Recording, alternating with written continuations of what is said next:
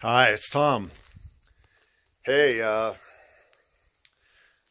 I got something in the trailer I want to show you. It's been um, caged in there for two days as we crossed the Rockies from Colorado and crossed the desert and the thunderstorms and the hail and so forth.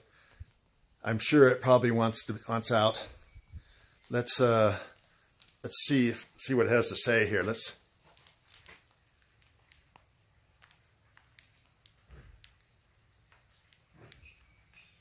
Oh, I hear something inside.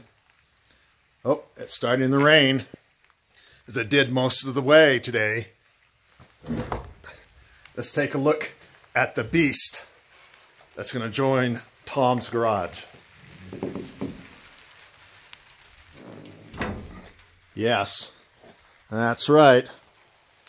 It's the GT2 RS, and it's starting to rain just a little sprinkle to celebrate the unveiling, unveiling here. Let's take a closer look at the side of it here.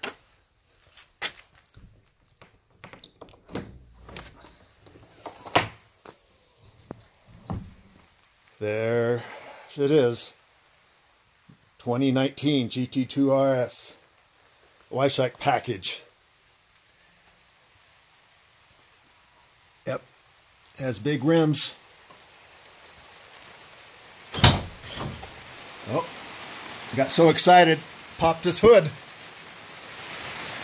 Oh, it's starting to rain now. It's good it's inside. I really haven't driven it much yet. Nice thing about this trailer, it comes with its own little rain cover canopy. Haven't driven it yet, but I'm looking forward to it, let me tell you. it's hard to wait It's like Christmas morning. Yep, I'm happy.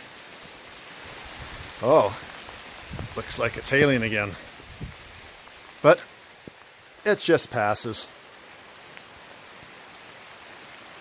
Another 600 miles and we'll be home. And then it's going to go for a ride.